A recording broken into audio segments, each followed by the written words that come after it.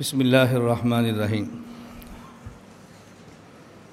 و غضب ہو و رضا ہو صفتان من صفات ہی بلا کیفن غضب، ناراض ہونا، رضا اور راضی ہونا، یہ دونوں اللہ کی صفتیں ہیں اور بغیر کیفیت کے ہیں.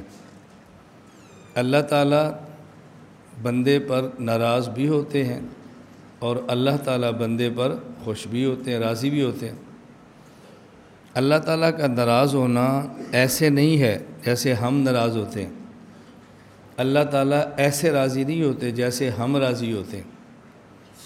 غضب ہو لا کا غضب نا و رضا ہو لا کا رضانہ ہمارے غضب اور رضا میں صفت انفعال، صفت تأثر ہوتی ہے۔ اللہ کے غضب اور رضا میں صفت انفعال اور صفت تأثر نہیں ہوتی۔ ہمارے ہاں راضی اور ناراض ہونے کا معنی کیا ہے؟ ایک آدمی کو ہم نے کام کہا، اس نے کام نہیں کیا، ہمیں اسے تکلیف ہوئی اور ہم ناراض ہو گئے۔ ایک آدمی کے ذمہ کام لگایا، اس نے کیا، ہمیں پسند آیا، ہم اسے راضی ہو گئے۔ یہ صفت انفعال ہے۔ ایک آدمی ہمارے سامنے آتا ہے، وہ مجھے کچھ پیسے چاہیے، ہم نہیں دیتے۔ میں غریب آدمی ہوں، پھر بھی نہیں دیتے۔ تین دن سے بھوکا ہے، بھوکا ہوں۔ کچھ کچھ دینے کو دل کیا ہے۔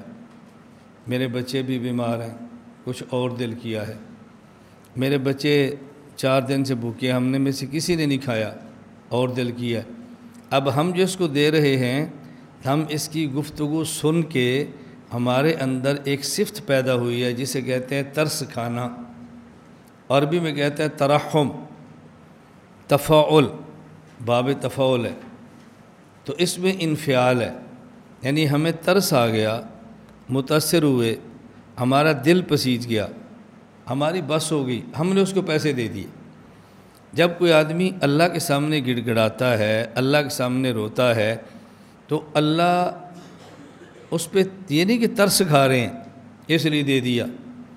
یہ نہیں کہ اللہ کا کوئی ایسا دل ہے جیسے ہمارا ہے کہ اس کی اس پریشانی کو دیکھ کر اللہ تعالیٰ کے دل کی کیفیت ایسی بن گئی ہے جیسے ہماری ہے۔ یہ نہیں ہے۔ ہم مانگنے والے کو دیتے ہیں ترس کھا کر۔ اللہ مانگنے والے کو ایسے دیتے ہیں جیسے ہم ترس کھا کے دیتے ہیں۔ وہ بغیر ترس کھائے ہوئے اس کے مانگنے پر دیتے ہیں۔ ان کا نظام ہے کہ جو بندہ روتا ہے، گڑ گڑاتا ہے، ہمارے سامنے آجزی کرتا ہے، ہم اس کو دیتے ہیں۔ لیکن کیسے؟ بندے ایسے دیتے ہیں کہ جیسے اس سے متاثر ہو جاتے ہیں۔ اللہ متاثر نہیں ہوتے، لیکن اللہ کا نظام ہے کہ مانگنے والے کو دے دیتے ہیں۔ اور بندہ سمجھتا یہ ہے کہ ہمارے مانگنے پر اللہ کو ترس آ گیا ہے، لہٰذا دے دیا ہے۔ ترس آیا اور نہیں دیا، وہاں ترس نہیں ہے، وہاں یہ نظام ہے۔ وہاں یہ نظام ہے۔ ہماری کوئی بات نہ مانے اور ہم سے چھوٹا ہے۔ ہمیں اس پہ غصہ چڑھتا ہے، یار تو ہم سے چھوٹا ہو کر باتیں بڑوں والی کرتا ہے۔ تیرے ذمہ کام لگایا تھا تو خود کو بڑا سمجھتا ہے۔ اب اللہ بھی ناراض ہوتے ہیں۔ لیکن یہ نہیں کہ اس نے چھوٹا ہو کر خود کو بڑا سمجھا تو اس میں کوئی اللہ کی حکومت میں فرق آیا ہے کوئی اللہ کی شان مالکیت میں فرق آیا ہے کوئی شان شان شاہیت میں فرق آیا ہے، ہرگز ایسا نہیں۔ تو اللہ تعالیٰ جو اس سے ناراض ہو رہے کیوں؟ یہ ایک اللہ کا نظام ہے، اس نظام کے تحت ناراضگی ہو رہی ہے۔ میں سمجھانے کے لیے ایک مثال دیتا ہوں۔ بھئی یہ ہمارا باغ ہے۔ مثلا یہ ہے چھ ایکڑ۔ بھئی آپ عصر کے بعد جاؤ تو اس سے مالٹے مت توڑو۔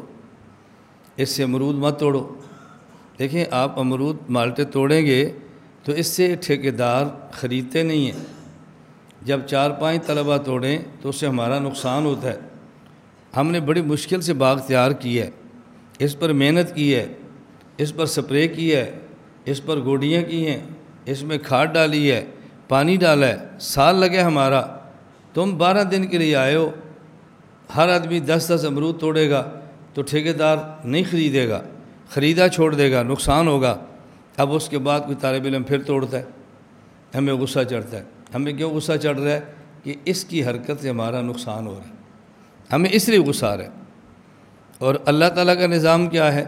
مثال کے طور پہ، ایک آدمی کا باغ ہے کنو کا۔ اور کنو کے باغ میں اس کے جو پودے ہیں، وہ کھربوں کی تعداد میں ہیں۔ اور اس کنو کے باغ کے علاوہ اس کی کوئی سو ڈیڑھ سو فیکٹری بھی ہے۔ اس کی کوئی چار ہزار گاڑیاں بھی چلتی ہیں۔ اس کے علاوہ اس کے پلازے اور پلاٹ بھی ہیں۔ وہ کہتے ہیں، دیکھو، ہمارے اس باغ میں ہماری اجازت کے بغیر کوئی کنو نہ توڑے۔ اس سے ایک آدمی ایک کنو توڑ لیتا ہے۔ اب یہ ناراض اس وجہ سے نہیں ہو رہا کہ اس کے ایک کنو توڑنے سے مالک کے خزانے میں کوئی کمی آ گئی ہے؟ ایک کنو سے اس کو کیا فرق پڑتا ہے؟ لیکن وہ ناراض اس پہ ہو رہا ہے کہ ہمارا ایک قانون تھا، تم نے اس قانون کو توڑا ہے۔ اگرچہ آپ کے کنو توڑنے سے ہمارے حکومت میں فرق نہیں پڑا، ہمارے خزانوں میں فرق نہیں پڑا، ہمارا نقصان نہیں آیا، لیکن ہمارا ایک قانون تھا کہ ہمارے پوچھے بغیر نہیں توڑا۔ تم نے ہمارے پوچھے بغیر توڑا ہے، اب اس پہ ناراض ہو رہے ہیں۔ تو اللہ کی ناراضی اس طرح نہیں ہے کہ جس طرح ہماری ہے۔ ہم ناراض ہوتے ہیں کہ نقصان ہوا ہے۔ ہم ناراض ہوتے ہیں کہ دو بندے ہماری بات نہ مانے تو ہماری پوزیشن میں فرق پڑتا ہے۔ کچھ لوگ ہماری بات نہ مارے تو پورے مدرسے کا ہمارا نظام خراب ہو جاتا ہے۔ کچھ بندوں کے نہ ماننے کی وجہ سے ہماری ترتیب پوری تباہ ہو جاتی ہے۔ ہم اس وجہ سے ناراض ہو رہے ہیں، لیکن اللہ اس وجہ سے ناراض نہیں ہوتے کہ کوئی بندہ بات نہ مانے تو نقصان ہوگا۔ کوئی بات مان نہ مانے الیاز باللہ پوزیشن میں فرق آئے گا۔ کوئی نہیں مانے گا تو خدا کا نظام تحسن ہے کچھ بھی نہیں ہوگا۔ بس خدا کا قانون ہے، اس کو تحت نہیں مانا۔ اللہ اس سے ناراض ہوئے ہیں۔ غضب ہو لا کا غضب نا بغضب ہو بلا کیفن برضا ہو بلا کیفن یہ معنی ہے کہ اللہ تعالیٰ کا ناراض ہونا ہمارے ناراض ہونا کی طرح نہیں ہے۔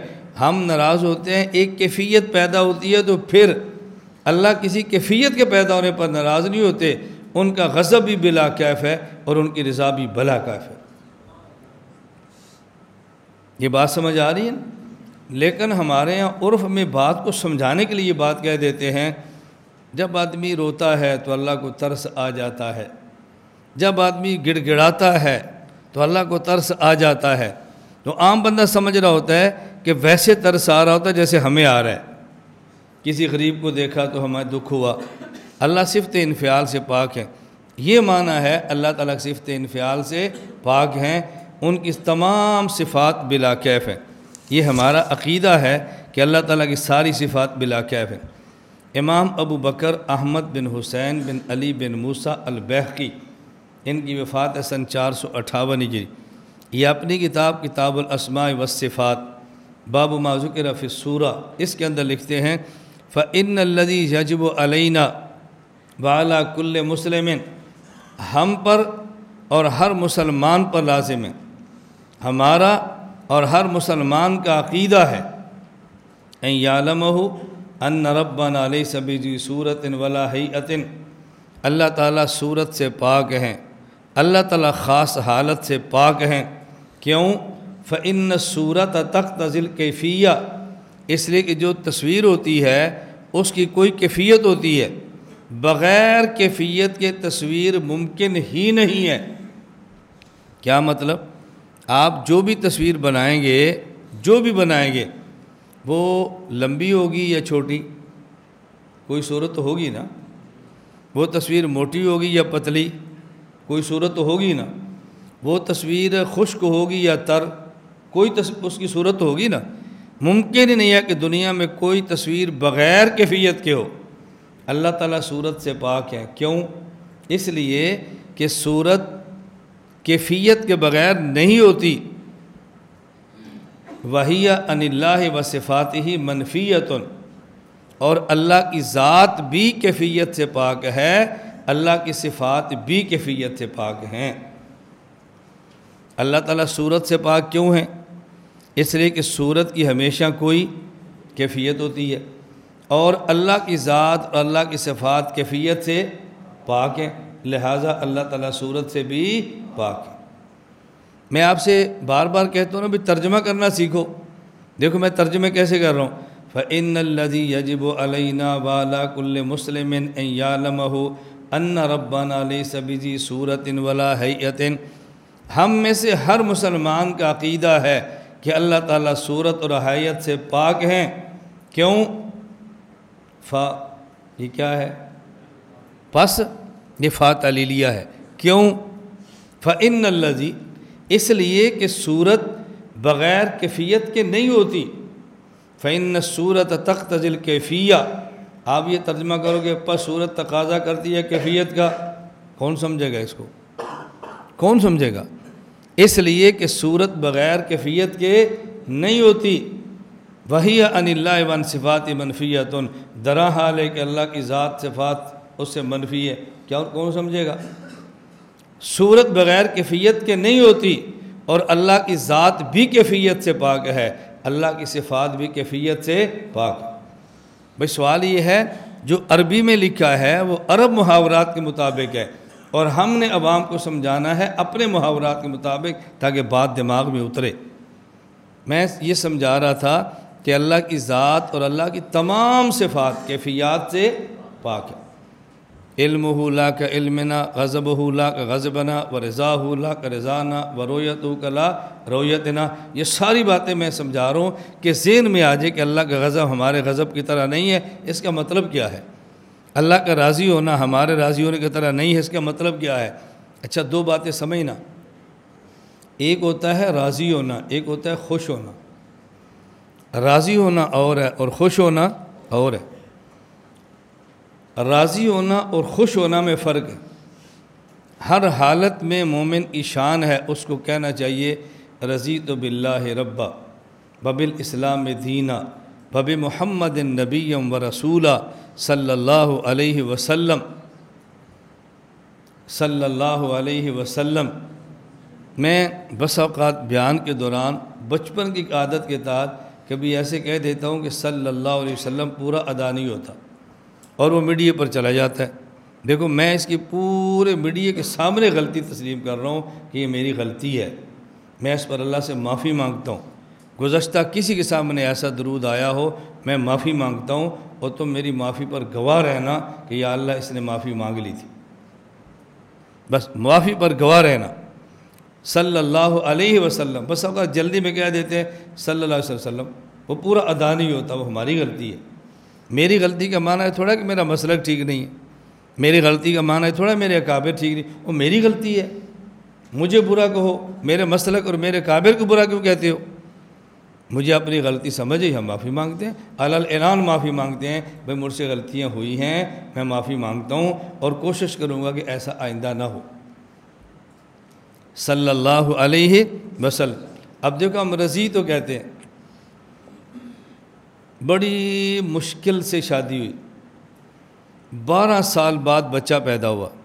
ایک گھنٹے بعد فوت ہو گیا۔ ہم خوش ہیں۔ خوش ہیں۔ لیکن راضی ہیں۔ خوش نہیں بھی، راضی پھر بھی۔ اللہ کا فیصلہ ہے، ہم راضی ہیں۔ خوشی کا معنی ہوتا ہے کہ نفس اس کو پسند کرے۔ اس فیصلے کو نفس پسند نہیں کر رہا۔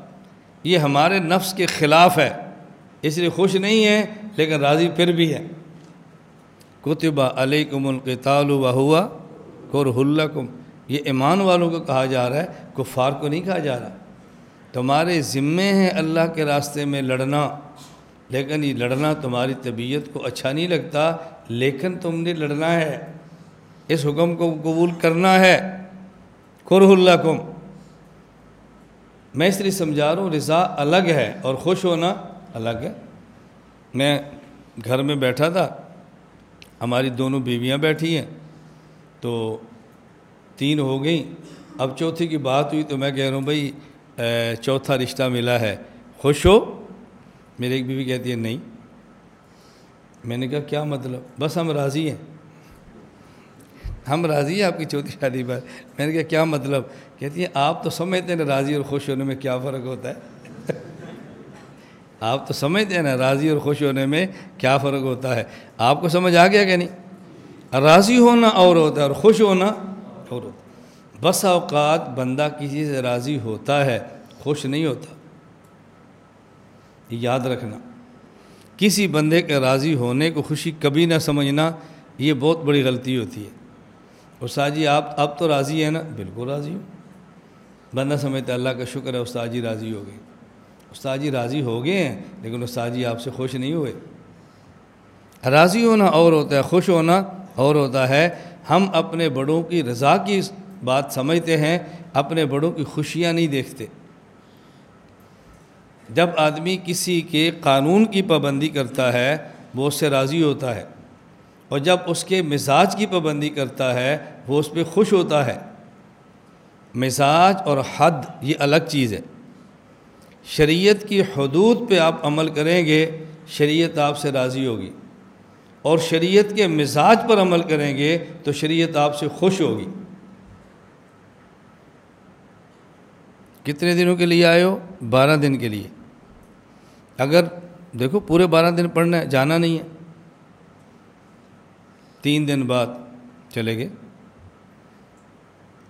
آپ کہتے ہیں، یار استاد جی کو آپ نے بارہ دن کہا تھا۔ آپ جا رہے ہیں، استاد جی ناراض ہوں گے۔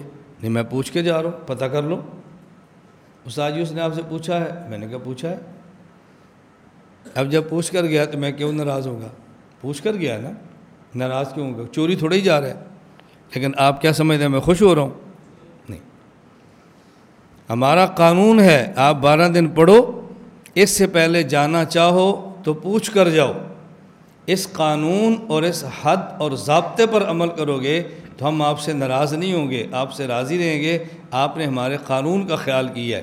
لیکن ہم اس سے خوش نہیں ہوں گے، خوش تب ہوں گے جب آپ بارہ دن پورے کر کے جائیں گے۔ خوش ہونا اور ہے، راضی ہونا اور ہے۔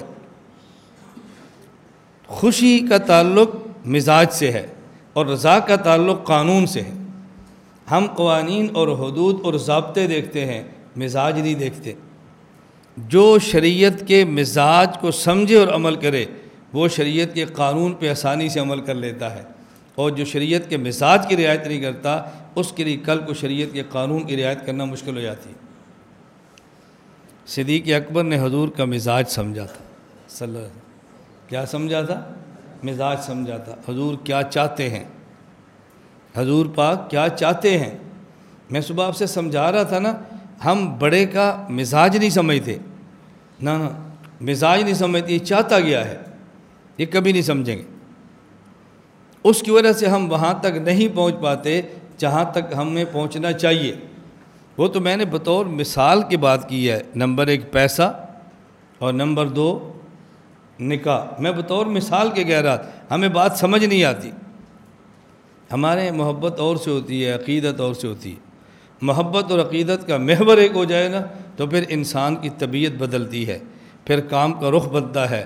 تو پھر انسان جہاں تک جانا چاہتا ہے نا، اللہ اس کو اس سے بھی آگے لے جاتے یہ تو جانا چاہ رہا ہوتا ہے نا، اپنی فکر کے مطابق۔ اللہ کو پتہ ہوتا ہے میں نے اس کو کہاں لے کر جانا ہے۔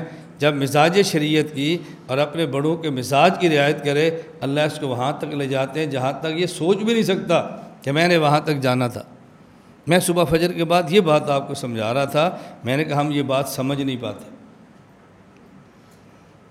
آپ یقین فرمائیں، مجھ سے برائے راست ایک خاتون نے میسج پہ رابطہ کیا۔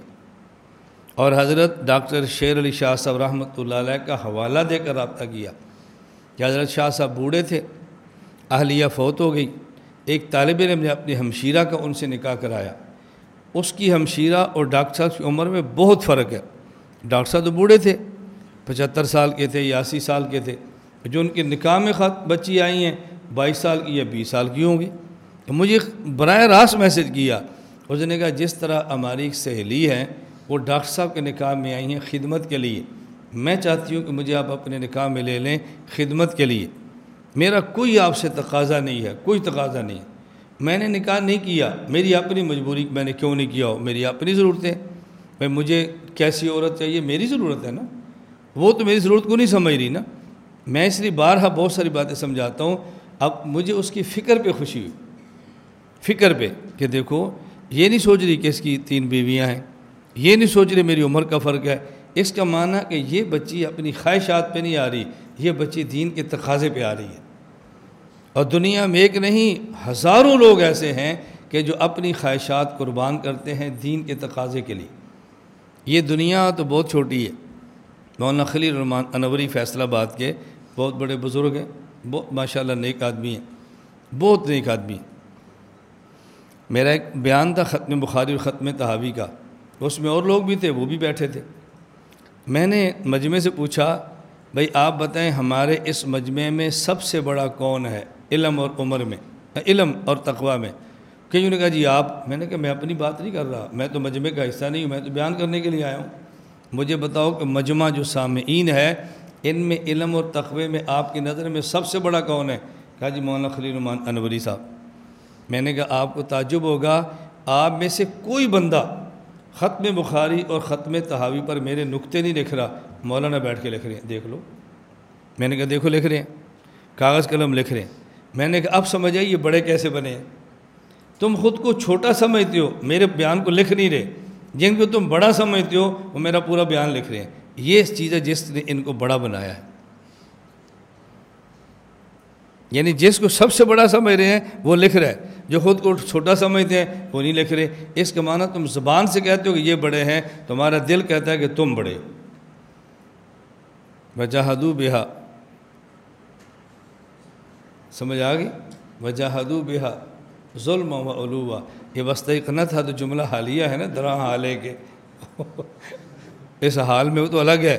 اصل کیا؟ وجہدو بہا ظلم و علوا۔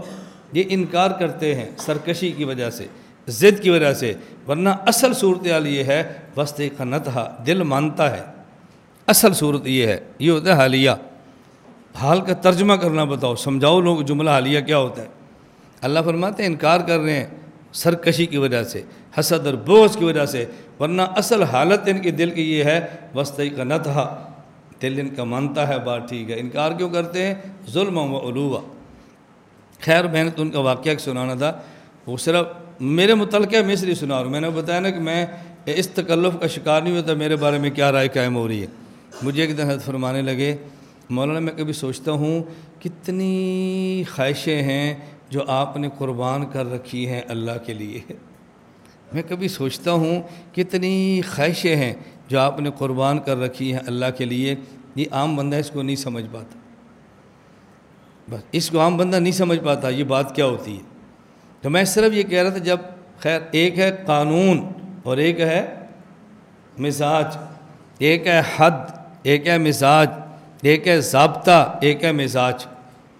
اور یہ ہمیشہ یاد رکھنا جب نکاح کی بنیاد خواہشات ہوں گی، خواہشات جب پوری ہو جاتی ہیں، نکاح فضول ہو جاتا ہے۔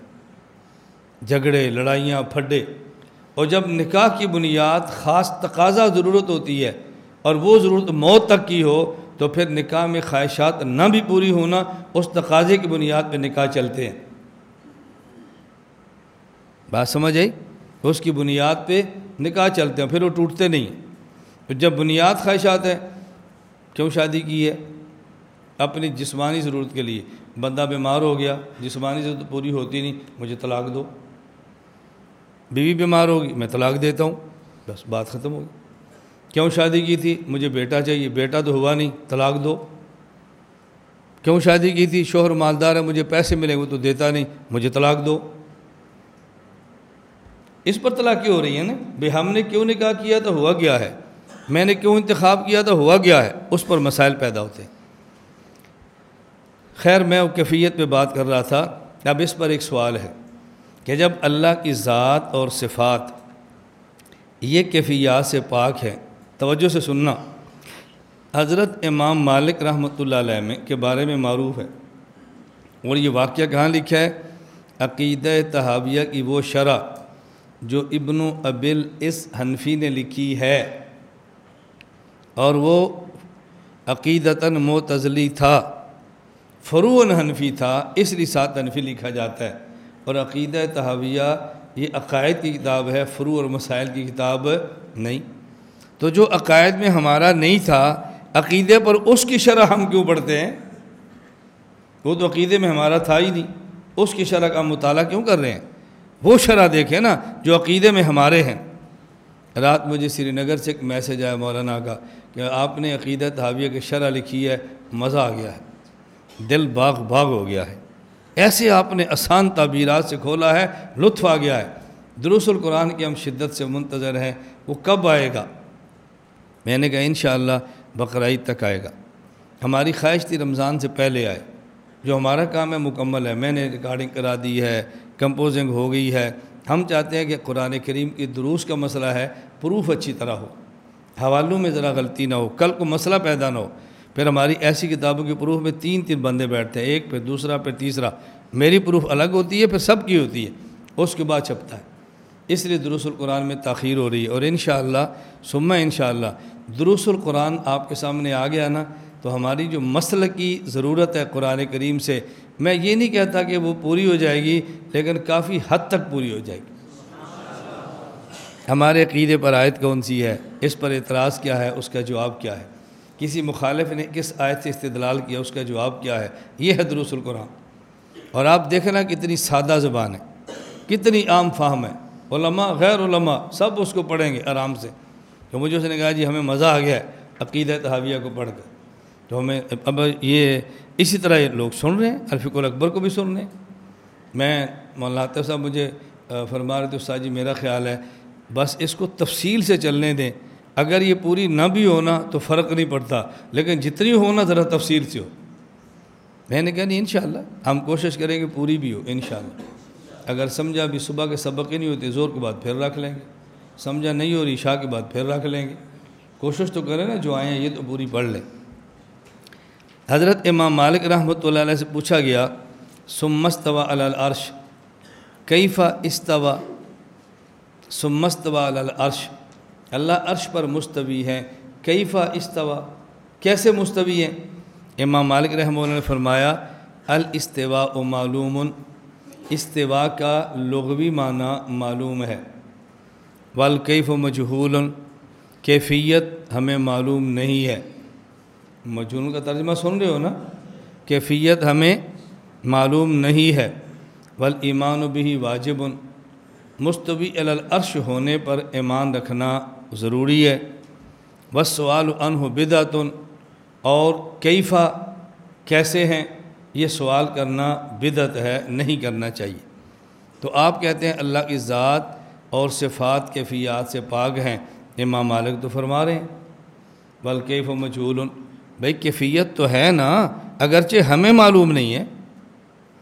کیفیت مجھولن کا مطلب کیا؟ کیفیت ہے لیکن ہمیں معلوم نہیں، کیفیت تو ہے نا۔ امام مالک تو مان رہے ہیں کیفیت کو، آپ کیسے کہتے ہیں نہیں ہے؟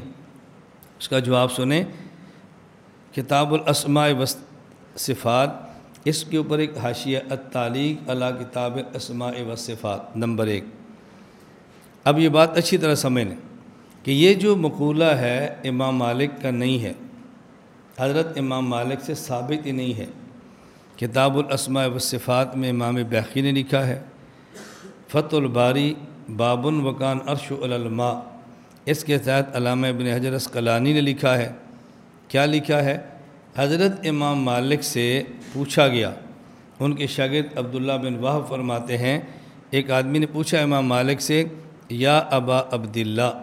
اے ابو عبداللہ، الرحمن العرش استوا کیفا استوا اللہ تعالیٰ مستوی العرش ہیں، اور ان کا مستوی العرش ہونا کیسے ہے؟ امام مالک نے فرمایا، الرحمن العرش استوا کما وصف نفس اللہ عرش پر مستوی ایسے ہیں جیسے اللہ نے بیان کیا ہے۔ لا یقال کیفا یہ نہ کہا کرو کہ کیسے مستوی ہے وقیف ان مرفوع اس لیے کہ اللہ کی ذات کیفیت سے پاک ہے۔ کیف ان مرفوع کا ترجمہ کیا کریں گے؟ اللہ کی ذات اور صفات کیفیت سے پاک۔ یہ معنی کیف ان مرفوع آپ کو کیف اس سے مرفوع ہے، کیا مطلب؟ خود نہیں سمجھیں گے تو آگے کیسے سمجھائیں گے؟ بقیف ان مرفوع اللہ کی ذات اور صفات کیفیت سے پاک ہے۔ اس کے بارے میں نہیں کہتے کیفہ نہیں کہتے، ایسے نہ کہا کرو۔ تو حضرت امام مالک سے وہ جو پہلی بات معتزلی نے لکھی ہے نا، وہ ثابت ہی نہیں ہے۔ اثر یہ ہے کہ امام مالک فرماتے تھے، لا یقال و کیفا بقیف انہ مرفون اللہ کے بارے میں نہیں پوچھتے کیسے، کیونکہ کیسے کیفیت اللہ کی ذات اور صفات اس سے پاک ہے، ایسا نہیں کہتے۔ یہ بات سمجھ آ گئی؟ میں جدہ میں تھا، تو جدہ میں ایک طالب علم میرے پاس آیا، اس نے سوال کیا کہ اللہ تعالیٰ کی ذات کے بارے میں امام مالک رحمۃ اللہ علیہ فرماتے ہیں، امام مالک رحمۃ اللہ فرماتے ہیں، الاستواء و معلوم بلکیف و مجہول بل ایمان و بھی واجب و سوال عنہ بدعت۔ امام مالک تو فرماتے ہیں کہ کیفیت ثابت ہے، اگرچہ ہمیں معلوم نہیں ہے۔ تو آپ کیسے کہتے ہیں کیفیت ثابت نہیں یعنی آپ امام مالک سے بڑے ہیں؟ میں نے اس سے کہا، امام مالک کی پوری بات سناؤ۔ امام مالک کی پوری بات سناؤ۔ امام مالک فرماتے ہیں، جو تم کہہ رہے ہو نا، وہ پوری بات۔ الاستواء و معلوم نمبر ایک بلکیف و مجہول نمبر دو ول ایمان و بھی واجب و نمبر تین و سوال انہبدت و نمبر چار میں نے کہا پہلے سنت ہے یا اہل بدت ہے کیا جی اہل سنت، میں نے کہا امام مالک فرماتے ہیں جو سوال کرے وہ بتی ہوتا ہے۔ میں نے کہا تو اہل سنت ہے یا اہل بدت کہا جی اہل سنت۔ میں نے کہا امام مالک فرما رہے جو سوال کرے وہ بدت ہی ہوتا ہے۔ اگر تو اہل سنت ہے تو سوال نہ کر۔ اگر اہل بدت ہے تو پھر پوچھ۔ اب بتا تو کون ہے؟ چپ۔ اب ان کے ذہن میں وہ سوال ہوتا ہی نہیں جو ہم کرتے ہیں۔ انہیں کچھ اور پڑا ہوتا ہے، آگے سوال اور ہو جاتا ہے، بس وہیں بیٹھ جاتے پھر ہمارے ساتھی جو ہماری مجلس سے گزرے نہیں ہوتے، درسگاہ میں پڑھا نہیں ہوتا، ان کو اشکال ہوتا ہے۔ استاد جو اس کے سوال کا جواب تو نہیں نہ آیا۔ جو اس نے پوچھا تھا، وہ تو نہیں آیا نا۔ آپ نے سوال کر کے چپ کرا دیا، جواب تو نہیں آیا نا۔ یہ کیوں الجھن ہو رہی ہے؟ ہماری درسگاہ سے گزرا نہیں ہے۔ بس اس لیے الجھنیں ہو رہی ہیں۔ درسگاہ سے گزر جائے، پھر کہ استاد جی مزہ آ گیا اس کا علاج یہی تھا۔ مزہ آ گیا، مزہ آ گیا۔ ہم کرتے ہیں علاج، تم دیتے ہو جواب۔ بےدتی کا علاج کرنا چاہیے، صرف جواب دینا چاہیے۔ اس کا علاج بھی تو کرو۔ اس کو اپنی اوقات بھی تو سمجھ آئے۔ اس کو اپنی علمی سطح کا بھی پتہ چلے۔ وہ جو ہر کسی کے اوپر چڑھا ہوا ہے، ذرا اس کو بھی تو احساس ہو۔ میرا سندھ کا پہلا دورہ تھا۔ جب میں نکلا تو گھوٹکی میں ایک ساتھی آیا، وہ ساتھ غیر مقلد مولوی کو لے آیا امام مسجد جس نے ان کو خراب کیا ہوا تھا۔ میں نے جب شروع میں کام کیا نا، یہ بہت حرکت میں آئے، بہت زیادہ۔ کیونکہ ان کے خلاف کبھی ایسے کوئی میدان میں نہیں تھا جیسے میں ہوں۔ ہمارا غیر مقلدی خلاف کام کیا تھا، سبق میں درسگاہ میں چار گھنٹے سبق، پانچ گھنٹے سبق، تین دن کا کورس طلبہ میں۔ عوام میں نہیں جاتے تھے۔ میں عوام میں کیا ہوں۔ ان کا فتنہ ہمارے مدرسوں میں نہیں ہے، عوام میں ہے۔ تو عوام میں جائیں گے نا؟ میں عوام میں گیا ہوں۔ یہ ان کے لیے پریشان کن تھا کہ اس نے عوام میں فضا کیسی بنا دی اس کا نتیجہ نکلا ہے۔ پبی جگہ ہے، صالحانہ مقام ہے۔ جامع ابو بکر صدیق مدرسہ ہے۔ مولانا سعد اللہ میرے شاگرد جو پڑھا رہے ہیں۔ یہ ایک غیر مقلد نے پچاس لاکھ روپے، پہلے غیر مقلد نہیں تھا۔ غیر مقلد ہوا۔ پچاس لاکھ لگا کے مدرسہ ان کو بنا کے دیا۔ اب وہی مدرسہ ہمارے پاس ہے۔ میں دو سالانہ جلسوں میں خطاب کر کے آیا پریشانی ہوگی یا نہیں؟ ہوگی نا۔ وہیں ایک استاد نے خواب دیکھا۔ غالباً اسی مولوی سعد اللہ نے ہمارے متخص خواب دیکھا کہ خواب میں امام منیفہ رحم اللہ آئے اور انہوں نے فرمایا کہ میرے نام کا سیمینار کرو۔ پھر اسی صالحانہ اسی جگہ پہ اب امام صاحب کے نام کا سیمینار بھی ہوئے۔ میں اس میں شریک نہیں ہوا، مجھے تو پتہ بھی نہیں تھا۔ ہوا تو مجھے بعد میں بتایا یعنی اس سیمینار کی وجہ یہ تھی۔ اب بتاؤ، الجھن تو ہوگی نا؟ میں قصور گیا ہوں، ایک مسجد جو بنائی انہوں نے ہے۔ پلیٹ ان کی لگی ہوئی ہے۔ اب وہ رجسٹر بھی ہمارے نام پر ہے، امام بھی ہمارے نام پر ہے، چھ سال ہو گئے۔ پریشانی ہوگی نہیں؟ مجھے ہندوستان سے ایک مولی شوکت کا میسج آیا کہ جی میں سال کے لیے تبلیغ میں چل رہا تھا، آپ کا فلاں بیان سنا، پھر مجھے بیان بھیجا۔ یہ میں نے بیان سنا، اس کی وجہ سے میں جب واپس آیا، میں نے اپنے خاندان میں بیان چلایا، میرے خاندان کے اٹھائیس مرد اور عورتیں وہ افراد تھے جو غیر مقلع تھے اور ایک بیان کی وجہ سے انفی ہوئے۔ پریشانی تو ہوگی یا نہیں؟ کیوں پریشانی نہیں ہوگی؟ ہم نے عوام میں فضا بنائی ہے، عوام میں۔ میں کبھی ساتھی سے کہتا ہوں بھی ہمارا نام لکھو یہ مدرسے پر لکھ دو۔ یہ ہمارے بینر لگا دو۔ یہ ہمارے جو ہے نا، یہ پوسٹر، یہ لگاؤ اپنی مسجد میں۔ عام بندہ سمجھتا نہیں ہے۔ عام بندہ سمجھتا ہے شاید اس کو اپنے نام کا شوق ہے۔ اس کو اپنی شہرت چاہیے کہ میرے نام پہ لگے ہونے چاہیے۔ میں نے کہا، نہیں، یہ بات نہیں ہے۔ یہاں ساتھ ہمارے گاؤں میں چھیاسی جنوبی، بالکل قریب ہے۔ وہاں کا ایک ساتھی آیا، بھائی عبد الرحمٰن دکاندار ہے، تبلیغی ساتھی ہے۔ میں نے کہا، اپنی دکان پر ہمارا مرکز کا غلہ رکھو۔ استاد جی آپ بھی چندہ کرتے ہیں۔ میں نے کہا، جو میں بات کروں وہ کرو، غلہ رکھو۔ اس نے ہمارا غلہ رکھ دیا۔ پندرہ دن کے بعد آیا۔ استاد جی عجیب بات ہے۔ میں نے کہا، کیا عجیب ہے؟ کہتے ہر ہفتے بعد غیر مقلد آتے، اپنے ہفتہ وار رسالہ دیتے۔ آئے، جب غلہ دیکھا، آپ کا نام لکھا تھا، اب نہیں آتے۔ میں نے کہا، اب سمجھ آئی؟ میں نے غلہ کیوں رکھوایا؟ اب سمجھ آئی تجھے؟ ہمارے یہاں بعض لوگ آتے ہیں۔ ان کو بات نہیں سمجھ آتی، وہ ان درسگاہ سے، جس کہتے ہیں ان پراسس سے نہیں گزرے ہوتے۔ اس ماحول سے نہیں گزرے ہوتے، ان کو بات سمجھ نہیں آتی۔ شاہ جی ہمارے علاقے میں مسجد ہے، بڑا فتنہ ہے، تنگ کرتے ہیں۔ میں نے کہا، مسجد کے باہر میرا نام لکھو۔ زیر سرپرستی متکلم اسلام مولانا محمد ریاض گمن۔ میں نے کہا، لکھو۔ پھر دیکھنا فتنہ ختم ہوتا ہے کہ نہیں؟ اللہ کا شکر ہے بہت سارے مقامات پر صرف نام لکھنے سے فتنہ ختم ہوتا ہے۔ اس مسجد کو رخ نہیں کرتے بھئی اس کی مسجد ہے، یا اس کا شگرد رہتا ہے، فضائی بدل جاتی ہے۔ تو اب بتاؤ ٹینشن ہوگی یا نہیں؟ جب ہوگی تو پروپوگنڈا بھی کریں گے۔ وہ جی آمین رفاع دین امام شافی بھی کرتے ہیں، ہم نے کر لی تو پھر کیا ہوا؟ اس کو گمراہ نہیں کہتے، مولانا ہمیں کہتے ہیں۔ ان کے پیچھے نماز پڑھتے ہیں مکہ جا کے ہمارے پیچھے نہیں پڑھتے، یہ کوئی بات ہے؟ اور ہمارے اسی سے متاثر ہو کر یہی پروپوگنڈا اپنی درسگاہوں میں ہمارے شروع کر دیتے اس لیے پھر میں کہا کرتا ہوں کہ کچھ ہم سے سنا ہوتا، کچھ ہم سے کہا ہوتا۔ غیروں سے سنا تم نے، غیروں سے کہا تم نے۔ ہم سے سنو نا۔ یہ ہم نے شروع کیا ہے۔ تو ہم سے پوچھو نا دونوں کے امین میں کیا فرق ہے۔ ہم سے پوچھو نا دونوں کے رف الدین میں کیا فرق ہے۔ ہم سے پوچھو نا دونوں اماموں میں کیا فرق ہے۔ ہم سے پوچھو نا۔ بات سمجھ آ گئی؟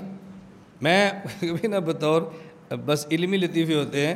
ایک ساتھ مجھے کہنے لگا، استاد جی تو غیر مقلد کو ان سے رشتہ کر سکتے ہیں؟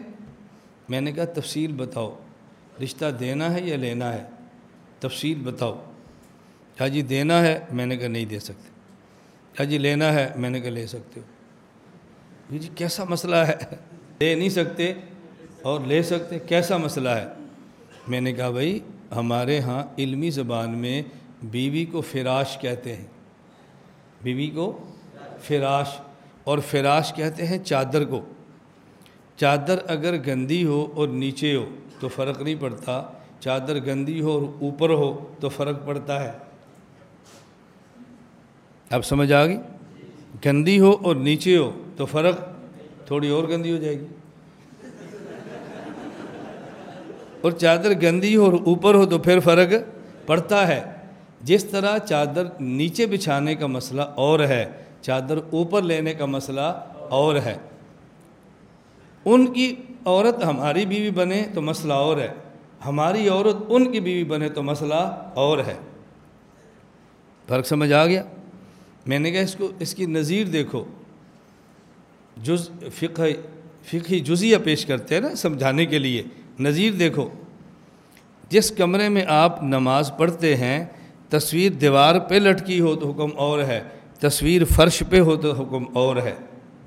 تصویر ایک ہی ہے، اوپر آ جائے تو حکم اور ہے، اور نیچے بیچ جائے تو حکم اور ہے۔ میں نے کہا بھی اب یہ تعلق چیزیں ایسی ہیں جن کا تعلق ذوق سے ہے، ذوق سے۔ صرف دلیل سے بات نہیں بنتا، ساتھ ذوق بھی ہونا چاہیے بندے کا۔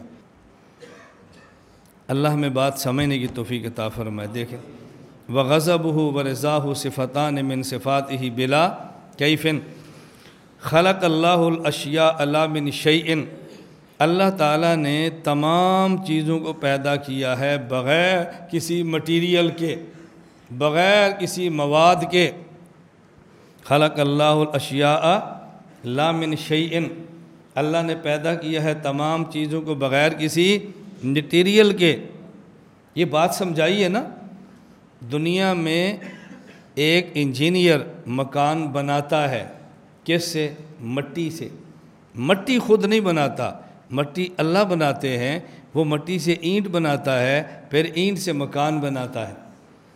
دنیا میں ایک مستری بناتا ہے مکان کو۔ کس سے؟ سیمنٹ سے۔ سیمنٹ خود نہیں بناتا۔ اللہ نے پہاڑ بنایا ہے۔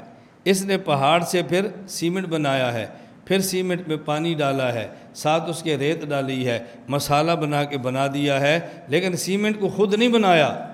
اللہ یوں نہیں بناتے۔ یہ فرمانے خلق خلق اللہ الاشیاء۔ دنیا کے لوگ چیزیں بناتے ہیں، لیکن ان چیزوں کا میٹیریل اللہ بناتے ہیں۔ لیکن اللہ میٹیریل بھی خود بناتے ہیں، چیز بھی خود بناتے ہیں۔ اللہ کی تمام تخلیقات میں سب سے خوبصورت لقد خلق نل انسان فی احسن تقویم۔ سب سے خوبصورت انسان ہے۔ اور انسان جس پانی سے بنتا ہے، وہ پانی بھی اللہ خود بناتے ہیں۔ پھر اس پانی سے انسان بھی خود بناتے ہیں۔ ایسا نہیں ہوتا کہ پانی کہیں اور سے لیں اور بندہ خود بنا دیں ایسا نہیں ہوتا۔ ایسا نہیں ہوتا۔ میری گزارش سمجھ آ رہی؟ ہے جی ہاں۔ جس کے ہاں اولاد نہ ہو، ڈاکٹر کہتا ہے جی ہم دے دیں گے۔ کیسے؟ کسی اور مرد کا پانی لے کر اس اس عورت کے نطفے میں ڈال دیں گے۔ اللہ یوں نہیں فرماتے۔ پانی بھی خود بناتے ہیں، بندہ بھی خود بناتے۔ ہیں خلق اللہ الاشیاء علامن شعین اس پر میں ایک بات کہہ تو اچھی طرح سمجھنا۔ یہ دیکھو، ہمارے سامنے مائک موجود ہے۔ یہ مائک ایک سٹینڈ پہ لگا ہے۔ اس سٹینڈ کے خالق اللہ ہیں، موجد انسان ہیں۔ خلق اور ایجاد میں فرق کیا ہے؟ خلق کہتے ہیں معدوم کو وجود دینا اور ایجاد کہتے ہیں موجود کو نیا ڈیزائن دینا۔ خلق جو نہ ہو اس کو بنانا اور ایجاد جو پہلے سے ہو اس کو نئی شکل دینا۔ یہ بنا لوہے سے۔ لوہے کو اللہ نے بنایا اور بندے نے اس لوہے کو اللہ کی عطا کردہ عقل سے نئی شکل دی ہے۔ اس لیے کہیں گے خالق اللہ ہے، موجد انسان ہے۔ خالق اللہ ہے، موجد۔ یہ کبھی نہ کہا کرو، یہ جو نقشہ ہے، یہ فلاں بندے کی تخلیق ہے۔ نہ، فلاں بندے کی ایجاد ہے۔ یہ فلاں بندے کی تخلیق ہے۔ نہ، فلاں بندے کی ایجاد ہے۔ تخلیق اللہ کی ہوتی ہے۔ فت تخلیق و و ترضی کو صفات فعلیہ۔ تخلیق اللہ کی ہوتی ہے، ایجاد بندے کی طرف سے ہوتی ہے۔ اللہ ہر چیز کے خالق ہے اور بندہ بعض چیزوں کا موجد ہے۔ اور انسان جو اللہ کی سب سے بہترین تخلیق ہے اس کا خالق بھی اللہ ہے، مجد بھی اللہ ہے۔ دنیا میں باقی بہت ساری چیزیں ایسی ہیں، خالق اللہ ہوتا ہے، مجد انسان ہوتا ہے۔ لیکن خود انسان ایسا ہے، اس کا نہ کوئی اللہ کے علاوہ خالق ہے، نہ ہی کوئی اس کا مجد۔ اللہ اللہ ہی خالق ہے اس کے۔ بات سمجھ آ رہی ہے؟ اللہ میں بات سمجھنے کی توفیق عطا فرمائے۔ ایجاد اور خلق میں فرق کرنا بہت ضروری ہے۔ ہم اس لیے کہتے ہیں، یہ جو شریعت کے بارے میں الزام ہے، بہت سخت ہے۔ اللہ کی قسم سخت نہیں ہے، بہت نرم ہے۔ ہم نے کبھی سمجھا نہیں، آنکھ کو پیدا اللہ نے کیا ہے۔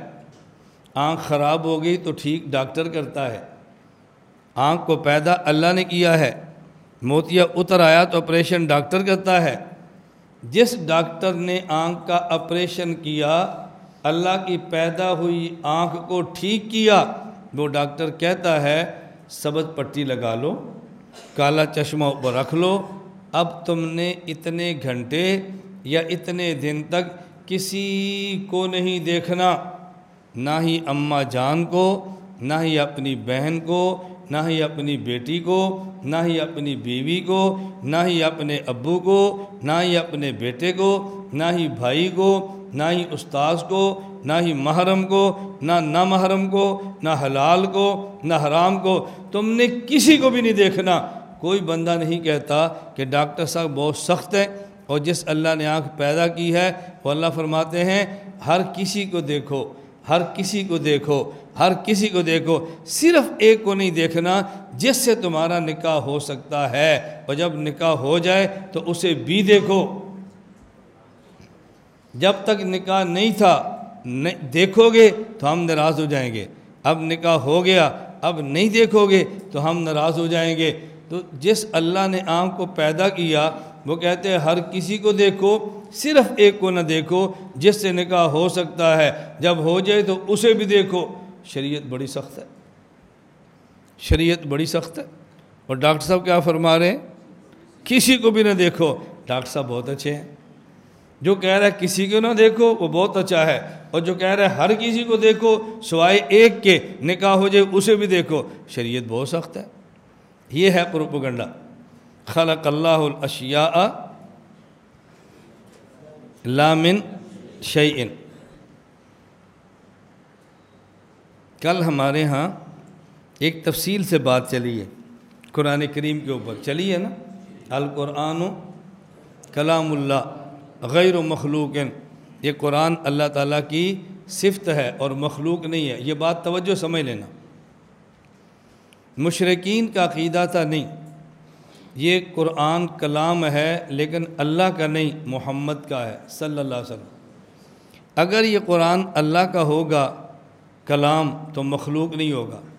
اور اگر یہ قرآن کلام ہوگا حضرت محمد صلی اللہ علیہ وسلم کا، تو پھر مخلوق ہوگا۔ اللہ فرماتے ہیں، نہیں، یہ قرآن میرا ہے، یہ مخلوق نہیں ہے۔ دلیل کیا ہے؟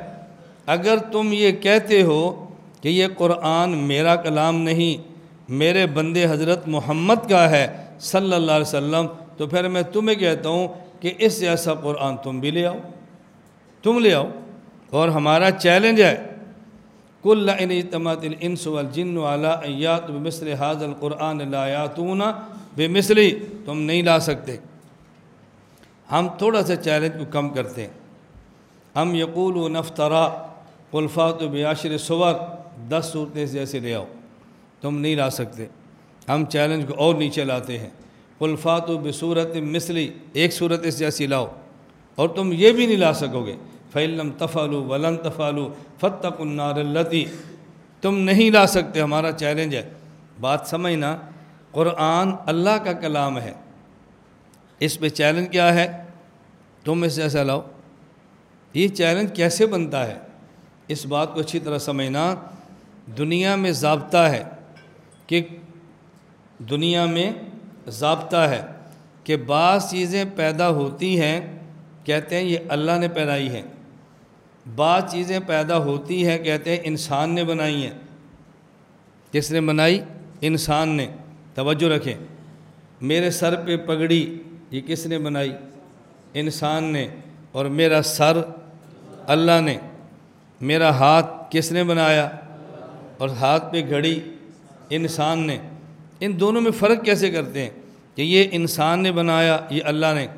ضابطہ یاد رکھنا جس جیسی چیز جس جیسی چیز انسان نہ بنا سکے، اس کا مطلب یہ چیز بھی انسان نے نہیں بنائی۔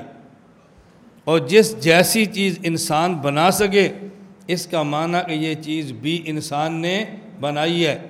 دیکھو، ہمارے سر جیسا ایک کروڑ انجینئر مل جائیں تو سر نہیں بنا سکتے۔ اس کا معنی کہ یہ سر بھی اللہ نے بنایا، انسان نے نہیں بنایا۔ اس پگڑی جیسی ایک بندہ ایک کروڑ پگڑی بنا سکتا ہے۔ اس کا معنی کہ یہ پگڑی بھی انسان نے بنائی۔ ایک کروڑ بندے مل جائیں، اس ہاتھ جیسا ایک ہاتھ نہیں بنا سکتے۔ اس کا معنی کہ یہ ہاتھ بھی انسان نے نہیں بنایا، اللہ نے بنایا۔ اس گھڑی جیسی ایک انسان ایک کروڑ گھڑی بنا سکتا ہے۔ اس کا معنی کہ یہ گھڑی بھی انسان نے بنائی ہے۔ اللہ فرماتے ہیں، قرآن میرا ہے۔ دلیل، اس جیسا تم نہیں لا سکتے۔ اس جیسا تم نہیں لا سکتے۔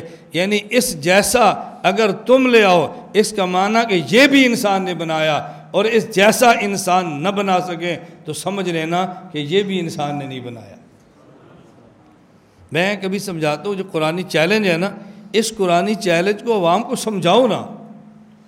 صرف اتنا کہہ دینا تو کافی نہیں کہ بھی چیلنج ہے۔ یہ اللہ کی کتاب ہے، یہ مرزہ ہے۔ سمجھاؤ یہ کیسے ہے۔ وکان اللہ تعالی عالمن فی الازل بالاشیاء قبل کونہا۔ دنیا میں جب چیزیں نہیں بنی تھیں، اللہ تب بھی جانتے تھے ہمیشہ سے۔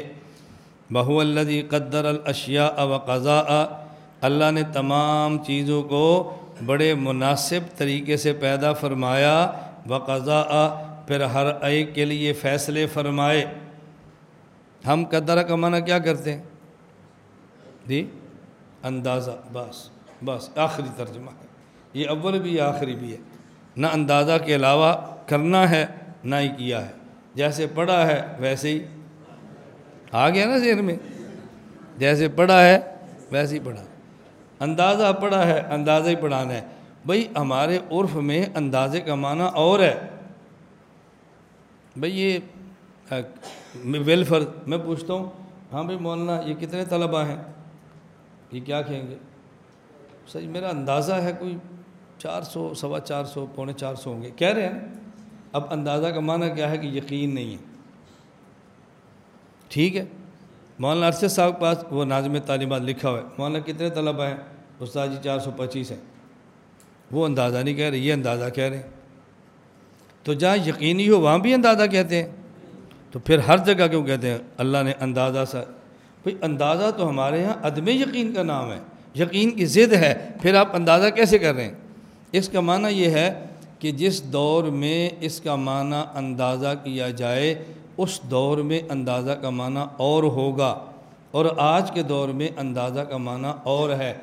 زمانے کے بدلنے سے الفاظ کے معنی بدلتے رہتے ہیں۔ عرف کے بدلنے سے الفاظ کے معنی بدلتے رہتے ہیں۔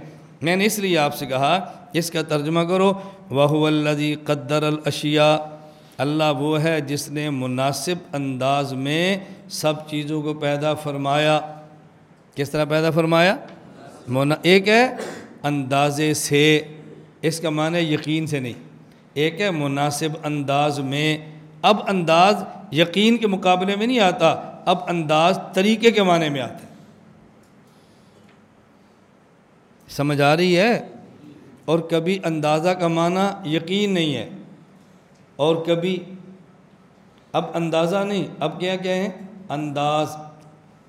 یار، تمہارے جو بیان کرنے کا انداز ہے نا، کیا کہنا اب سمجھ آئے گی اندازہ کریں گے تو معنی اور ہوگا، انداز کہیں گے تو معنی اور ہوگا۔ واہ اللہ قدر الاشیاء اللہ وہ ذات ہے کہ جنہوں نے مناسب انداز سے تمام چیزوں کو پیدا فرمایا۔ اب انداز کا معنی کیا ہوگا؟ طریقہ، مناسب طریقے سے پیدا فرمایا۔ سمجھ آ رہی ہے؟ وقضا اور پھر تمام چیزوں کے لیے فیصلہ بھی فرمایا۔ یہ واؤ عاطفہ ہے اور واؤ مطلق جمع کے لیے آتا ہے۔ یہ معنی نہیں کہ پہلے پیدا فرمایا، پھر فیصلہ فرمایا، نہ۔ یہ پیدا فرمانا، فیصلہ فرمانا، اکٹھے ہوں تو بھی ٹھیک ہے، قضا پہلے ہو پھر بھی ٹھیک ہے، تقدیر بعد میں ہو پھر بھی ٹھیک ہے، کیوں واؤ جمع کے لیے ہے؟ ولا یقون فی دنیا ولا فی الآخرت اللہ بمشیت ہی و علم ہی و قضاء و قدر ہی و قطب ہی بلوح المحفوظ۔ دنیا میں اور آخرت میں جو کچھ دنیا میں ہوا، جو کچھ ہوگا، جو کچھ دنیا میں ہوتا ہے، ولا فی الآخرہ اب یقونوں کا ترجمہ یہ کر لو گے نا، ہوتا ہے۔ اس میں ماضی، حال، مستقبل سب کچھ آ جائے گا۔ ولا یقون فی دنیا جو کچھ دنیا میں ہوتا ہے، ولا فی الآخرہ اور جو کچھ آخرت میں ہوگا بے مشیت ہی اللہ کے چاہنے سے ہوگا۔ ترجمہ سمجھ رہے ہو؟ یہ حسر کا ترجمہ ہو رہا ہے، حسر کا۔ ہم نے ترجمہ یوں نہیں کرنا، نہیں ہوتا دنیا میں، اب تو یہ ہوتا ہے۔ پہلے ہوتا تھا، نہیں ہوتا، بیج دنیا میں، اب اللہ کا شکر ہے بیج ختم ہو گیا۔ ہے اب تھوڑی سی اردو بدل گئی ہے ہماری۔ نہیں ہوتا ہے دنیا میں، نہ ہی ہوگا آخرت میں کوئی چیز مگر ساتھ چاہنے اللہ کے، بھائی، اس کو لوگ نہیں سمجھیں گے۔ آپ بڑے لوگ ہیں، آپ سمجھ جائیں گے، لوگ نہیں سمجھیں گے۔ ترجمہ حسر کے ساتھ کرو، جو کچھ دنیا میں ہوتا ہے، جو کچھ آخرت میں ہوگا، وہ اللہ کے چاہنے ہی سے ہوگا۔ وہ علم ہی اللہ کے علم کے مطابق ہوگا۔ بقضاء ہی اللہ کے فیصلے کے مطابق ہوگا۔ بقدر ہی اللہ کے مناسب انداز میں پیدا کرنے ہی سے ہوگا بقتب ہی، اور جیسے لوہے محفوظ میں لکھا ہے ویسے ہی ہوگا۔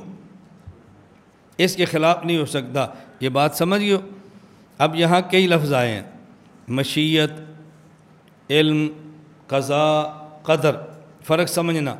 مشیت کا معنی اللہ تعالیٰ کا اپنی چاہت اور اپنے ارادے اپنے ارادے سے بندے کو اختیار دینا یہ ہے مشیت۔ اللہ تعالیٰ کا اپنی چاہت، اپنے ارادے سے بندے کو اختیار دینا یہ ہے مشیت۔ اللہ تعالیٰ کا اس بات کو جاننا کہ میں بندوں کو اختیار دوں گا تو بندہ یہ کام کرے گا۔ اسے کہتے ہیں علم۔ اللہ تعالیٰ کا یہ جاننا کہ میں بندے کو اختیار دوں گا اور بندہ اپنے اختیار سے یہ کام کرے گا۔ اسے کہتے ہیں علم۔ اللہ تعالیٰ کا اس بات کو لکھ لینا کہ میں اختیار دوں گا اور بندہ یہ کام کرے گا۔ اسے کہتے ہیں قضا اسے کہتے ہیں قضا اور اللہ تعالیٰ کا یہ جاننا کہ میں یہ اختیار دوں گا تو بندہ یہ کام کرے گا۔ پھر چونکہ بندہ کرے گا تو اللہ کا لکھ لینا علم الہی، جمع امر الہی، اسے کہتے ہیں تقدیر۔ مشیت کا معنی الگ ہے، علم کا معنی الگ ہے، تقدیر کا معنی الگ ہے، قضاء کا معنی الگ ہے۔ اچھی طرح سمجھ آ گئی؟ چلو کچھ سمجھ آ گئی۔ اب تو ٹھیک ہے نا؟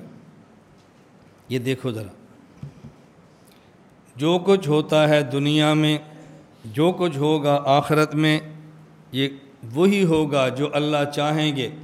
بما تشاؤون اللہ اے یشا اللہ تم نہیں چاہ سکتے، مگر وہی جو اللہ چاہیں۔ یہ آپ کا ترجمہ ہے۔ تم وہی چاہو گے جو اللہ چاہتا ہے۔ یہ ہمارا ترجمہ ہے۔ بما تشاؤون اللہ اے یشا اللہ تم وہی چاہو گے جو اللہ چاہتا ہے۔ اللہ کی چاہت کے علاوہ تم نہیں چاہ سکتے۔ بات سمجھنا۔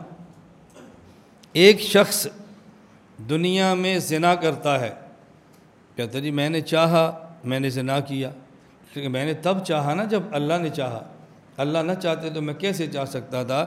میری مشیت اللہ کے مشیت کے تابع ہے۔ تو میں نے زنا کر کے کیا جرم کیا پھر؟ سوال سمجھ آ گیا؟ جواب۔ اس کا مطلب کیا ہے؟ اللہ اپنے ارادے سے بندے کو اختیار دیتے ہیں۔ چاہے تو زنا کرے اور چاہے تو زنا نہ کرے۔ اللہ کے علم میں ہے، میں اس کو اختیار دوں گا، چاہے تو کرے اور چاہے تو زنا کرنے کے اختیار بھی دوں گا، نہ کرنے کا اختیار بھی دوں گا۔ لیکن یہ اپنے اختیار سے زنا کرے گا۔ تو اللہ نے لکھ دیا ہے کہ اس بندے نے زنا کرنا ہے۔ اب چاہنے کا مطلب کیا ہے؟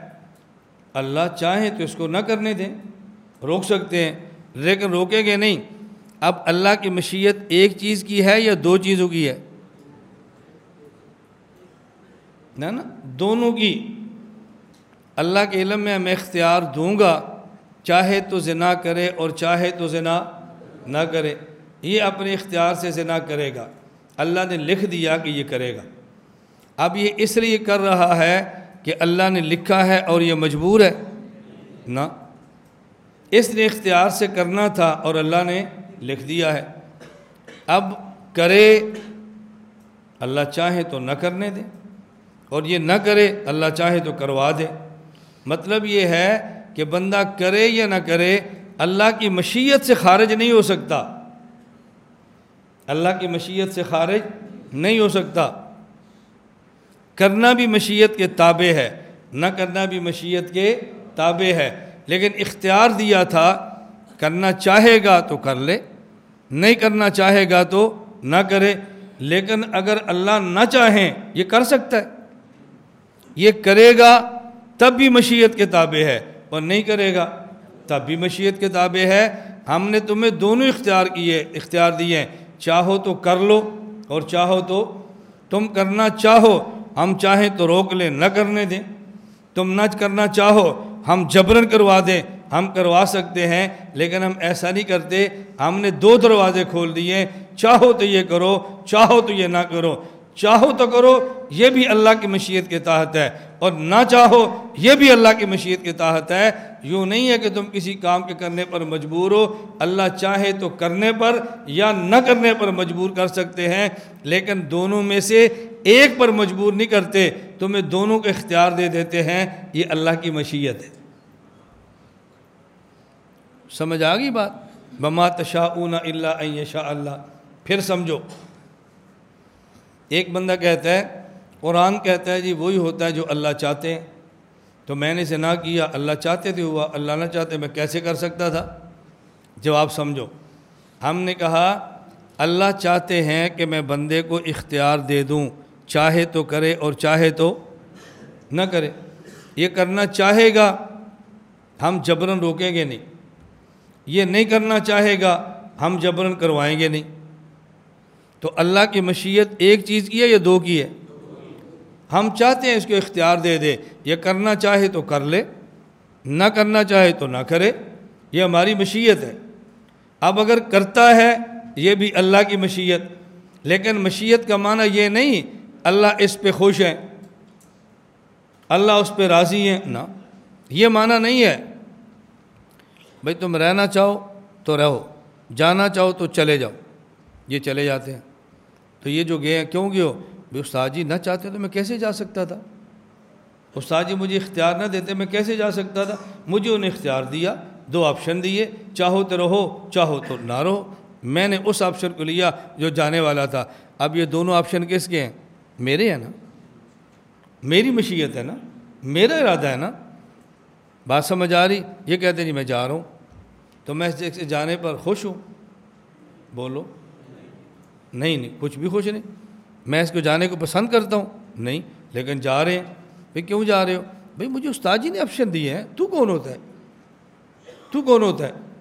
اب یہ جو استاد جی نے آپشن دیے ہیں، چاہو تو جاؤ، چاہو تو ٹھہرو۔ لیکن ہم خوش ٹھہرنے پر ہیں، خوش جانے پر نہیں ہیں۔ لیکن چونکہ ان کو بات سمجھ نہیں آئی، اس لیے خوش جا رہے ہیں۔ میں تو پوچھ کر آیا ہوں۔ وہ زنا کر اور خوش ہے۔ میں نے مرضی تھوڑا کی ہے، اللہ نے چاہا تو کیا، وہ نہ چاہتے میں کیسے کر سکتا تھا؟ تو جس طرح ہمارے طالب کو بات سمجھ نہیں آتی، اسی طرح کبھی اس بندے کو بات نہیں سمجھ آتی، وہ تقدیر پہ اعتراض کر لیتا ہے اور یہ لوگ استاد کے فیصلے کو نہیں سمجھتے، تو منشا کو توڑ دیتے کچھ بات سمجھ آئیے آپ کو؟ پھر کہوں۔ آگے یا پھر کہوں؟ اس کو بار بار سننا، بار بار سننا، اب اشکال نہیں ہوگا۔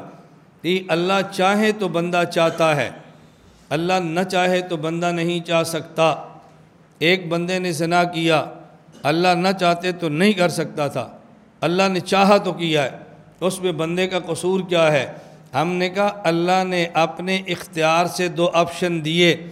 چاہے تو کر لے، چاہے تو نہ کرے۔ یہ کرے گا ہم نہ کرنے پر مجبور نہیں کریں گے۔ یہ نہیں کرے گا، ہم کرنے پر مجبور نہیں کریں گے۔ یہ زنا کرے گا، ہم جہنم دے دیں گے۔ یہ زنا نہیں کرے گا، رک جائے گا۔ ہم اس کو جنت دے دیں گے۔ اللہ نے اب آپشن دو دیے ہیں۔ آج کی زبان میں اللہ نے اختیار دو دیے ہیں۔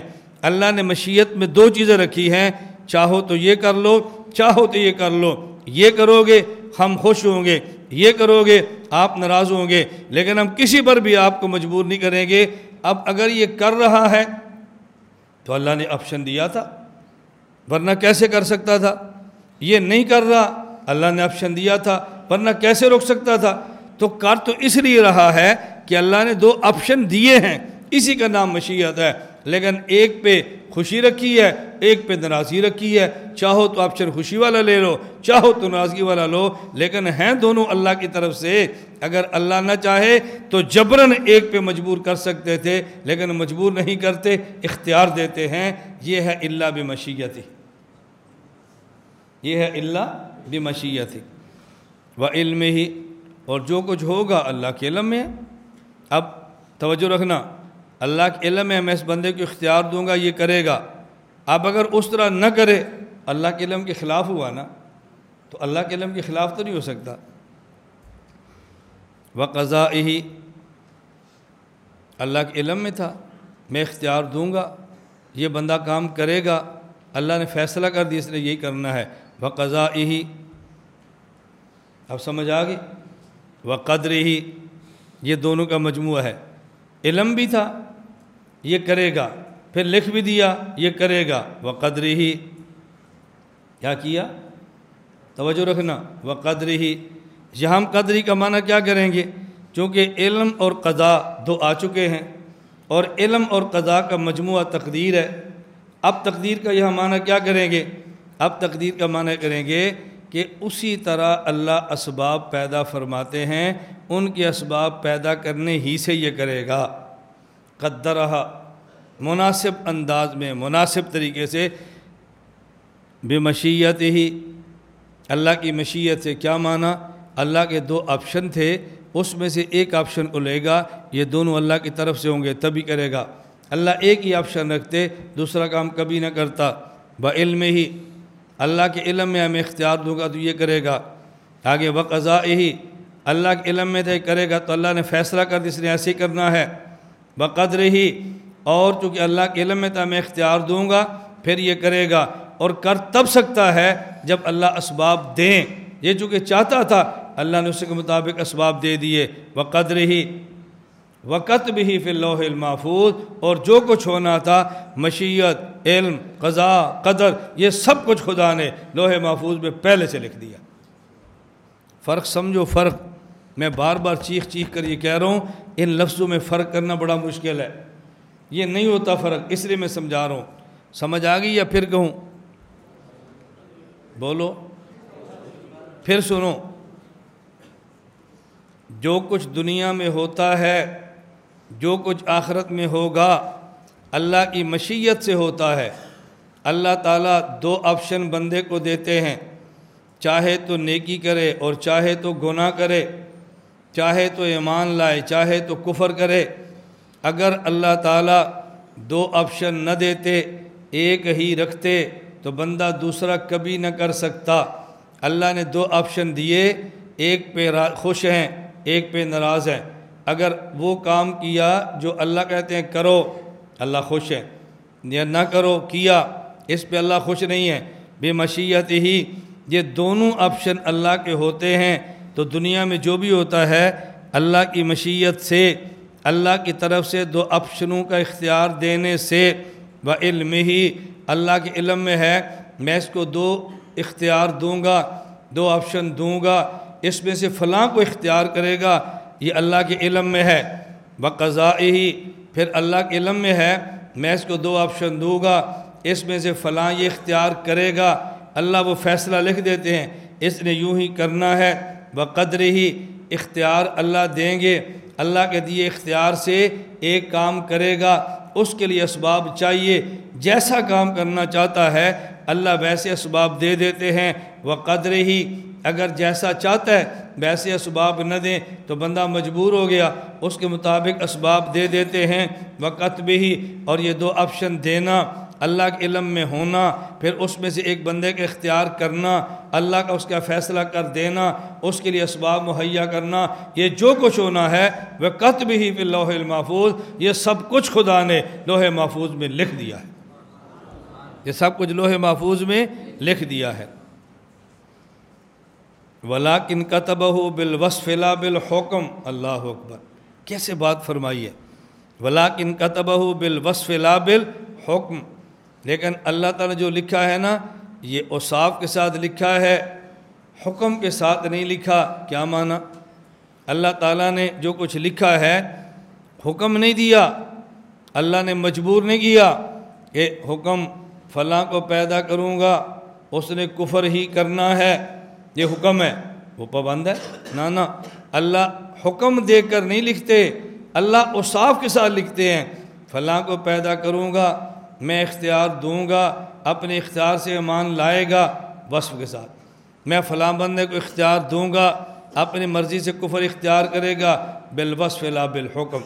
فلاں بندے کو اختیار دوں گا، اپنی مرضی سے زنا کرے گا، بالوصف لا بالحکم۔ میں اختیار دوں گا، چاہے تو شراب پیے، چاہے نہ پیے، شراب موجود ہوگا، نہیں پیے گا، اپنی مرضی سے، لا، بالوصف لا بالحکم یعنی اللہ نے جو کچھ لکھا ہے، اس میں حکم دے کر بندوں کو پابند نہیں کیا کہ تم نے ضرور کرنا ہے بلے کہ اللہ نے حکم کے ساتھ وصف بھی لکھے ہیں۔ میں اختیار دوں گا، یہ اپنی اختیار سے کرے گا، پھر خدا نے حکم لکھ دیا، اب اس بندے نے یوں ہی کرنا ہے۔ ولاکن کا تبہ بالوصف لا بالحکم بل قضاء بل قدر بل مشیت ہو قضا اللہ کے فیصلے بل قدر اس کے لیے اسباب کا پیدا کرنا بل مشیت ہو کئی آپشن دینا صفات ہو فی الازل لا بلا کیفن یہ خدا کی وہ صفتیں ہیں جو ہمیشہ سے ہیں اور ہمیں اس کی کیفیت معلوم نہیں ہے۔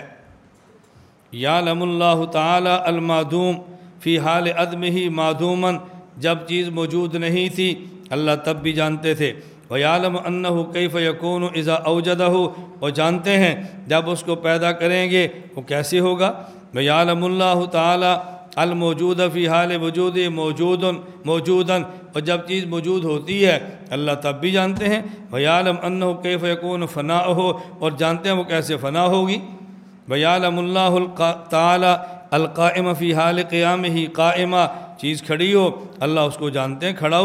بھائی قاد علم ہو قاعدن فی حال قعود ہی جب بیٹھتا ہے، اللہ جانتے ہیں بیٹھا ہوا ہے، من غیر ان یتغیر علم ہو او یحدث له علم، نہ تو امام صاحب کے علم میں تغیر ہوتا ہے، یہ تب تبدیل ہو جائے، اور نہ ہی امام صاحب کا علم نہ ہوتا ہے، کہ پہلے نہ ہو جب قیام ہو جانتے ہیں، بعد میں قود ہوگا، اس کو اب جانتے ہیں، یہ بعد میں لیٹے گا، اس کو اب بھی جانتے ہیں، یہ بعد میں دوڑے گا، اس کو تب بھی جانتے ہیں۔ جب چیز موجود نہیں ہوتی، تب بھی جانتے تھے۔ موجود ہوتی ہے، تب بھی جانتے ہیں۔ موجود ہو، تب بھی جانتے ہیں۔ فنا ہوگی، اس کو بھی جانتے ہیں۔ تو اللہ تعالیٰ کے علم حادث نہیں ہے، ہمیشہ سے اللہ کے علم میں ہے۔ کب اٹھے گا، کب بیٹھے گا، کب سوئے گا، کب چلے گا، کب پھرے گا، کب جیے گا اور کب مرے گا اور کہاں مرے گا۔ فائزہ قادہ علم ہو علم ہو قائدن فی حال قعود ہی من غیر ان يتغیر علمه او يحدث له علم ولكن التغیر والاختلاف يحدث في المخلوقین، لیکن تغیر کسی چیز کا اور اختلاف بدلنا يحدث یہ مخلوقین میں تو ہوتا ہے، ایک چیز اب نہیں ہے، کب ہوگی؟ پہلے نہیں تھی، اب ہو گئی، اب ہے، آئندہ نہیں ہوگی۔ لیکن اللہ کے علم میں تغیر بھی نہیں ہے، اللہ کے علم میں اختلاف بھی نہیں ہے، اللہ کے علم میں حدوث بھی نہیں ہے کہ اللہ کا علم کسی کے بارے میں بدل جائے۔ پہلے علم کچھ اور ہو پچکور اور اور ہو ایسا بھی نہیں ہے۔ اور پہلے علم نہیں تھا، اب ہو، یہ بھی نہیں ہے۔ نہ تغیر، نہ اختلاف، نہ حدوث۔ خلق اللہ الخلق سلیم من القفر والایمان۔ اللہ تعالیٰ جب پہلے پیدا فرماتے ہیں نہ ہی بندہ کافر ہوتا ہے، نہ ہی مومن، ثم خاطب ہوں پھر اللہ بندوں کو خطاب کرتے ہیں۔ وہ امر ہوں پھر اللہ حکم دیتے ہیں۔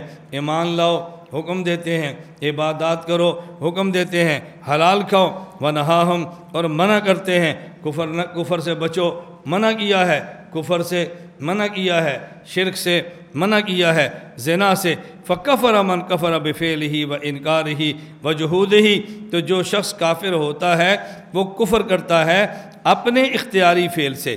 اللہ کا انکار کرتا ہے اپنی مرضی سے۔ فکفر من کفرا اور جس نے اللہ کا انکار کیا بفعل ہی اپنے اختیار سے، اپنی مرضی سے انکار کیا۔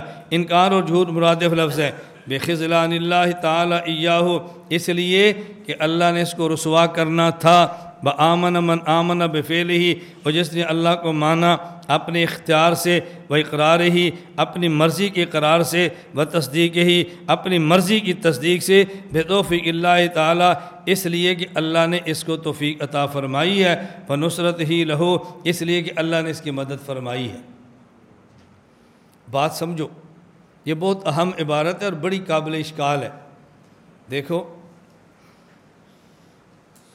اللہ تعالیٰ پیدا کرتے ہیں، نہ بندہ مسلم، نہ کافر۔ اور بے فرماتے ہیں، ایمان قبول کرنا، یہ ایمان قبول کرتا ہے مرضی سے۔ کفر سے بچنا، یہ کفر اختیار کرتا ہے مرضی سے۔ اور امام صاحب کیا فرما رہے ہیں؟ بے فعل ہی و انکار ہی و جہود ہی۔ اس نے اپنے اختیار سے کفر کیا ہے، اپنی مرضی سے انکار کیا ہے، لیکن کیا کیوں ہے؟ اس لیے کہ اللہ نے اس کو رسوا کرنا تھا۔ تو جب اللہ کا فیصلہ رسوا کرنے کا ہے، تو اس کی مرضی کہاں سے آ گئی؟ اس کے اختیار کہاں سے آ گیا؟ ب آمن آمن بفیل ہی جس نے اللہ کو مانا ہے بفیل ہی اپنے اختیار سے اقرار اپنا ہے، دل سے تصدیق اپنی ہے۔ کیوں؟ بے توفیق اللہ تعالیٰ، اس لیے کہ اللہ نے توفیق دی ہے۔ تو جب اللہ نے توفیق دی ہے، تو اس کے اختیار کیسا؟ جب اللہ نے اس کو رسوا کیا ہے، تو اس کا انکار کیسا؟ بات سمجھ آ رہی ہے؟ اور سمجھ آیا سوال؟ سوال سمجھ آئے تو پھر میں جواب سمجھاؤں۔ بس اوقات کسی بندے کے ذہن میں سوال بھی نہیں ہوتا اور میں سوال کھڑا کر دیتا ہوں۔ وہ بات میں کہتے ہیں ہمارے تو ذہن میں بھی نہیں تھا۔ لیکن مجھے پتہ ہے کسی کے ذہن میں نہیں ہوتا، کسی کے ذہن میں ہوتا ہے اور نہ ہو تو بعد میں آ جانا ہے۔ مجھے ایک آدمی کہنے لگا کہ مولانا صاحب، یہ تو سبق ہے نا، میں بیان کی بات کر رہا ہوں۔ اس نے کہا، جب آپ بیان کرتے ہیں نا، تو آپ بیان پہ ایک عقیدہ چھیڑتے ہیں۔ ہمارے ذہن میں اس پر اعتراض ہوتے ہیں۔ آپ ایک مسئلہ بیان کرتے ہیں اور ہمارے ذہن میں سوال ہوتے ہیں۔